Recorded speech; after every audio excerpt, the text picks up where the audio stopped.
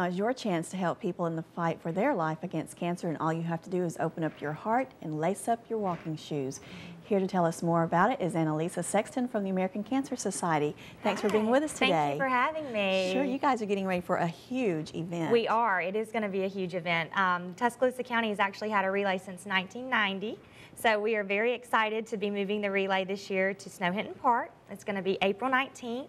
Uh, the doors will open, I guess the gates will open at 6 p.m. And that's when we invite everyone to come out and walk and participate with teams and um, we'll have a special lap for our survivors and a pre-walk meal provided for our survivors as well. Tell the folks at home who may not be familiar with what the monies go to from Relay for Life.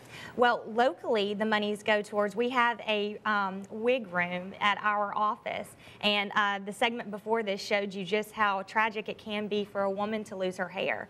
And so that's one of our favorite programs that we have, um, to be able to see a woman come in and to take that wig home with her and to feel like a brand new woman again. Um, that's really touching, and so that's one of my favorite programs. Also, we have the Hope Lodge in Birmingham. Um, and that is a facility where our patients and their family members can go and stay 100% free while they're receiving their treatments that may last up to six weeks. Um, at UAB or in the Birmingham area. If people want to become involved in the Relay for Life, but maybe they're not able to actually do the walk, can they still participate? Absolutely. and cheer on everyone? Absolutely, and we, we encourage that. We will have our team set up, and each team has tents, and they will have plenty of tables and chairs and food and fun, and they can come out and watch and be a part of the event just as the walkers are. So it's not too late to sign up. It is not too late to sign up, and if you would, our website is uh, www.relayforlife.org slash Tuscaloosa AL, and so they can go online and sign up there, and, and we encourage them to do that.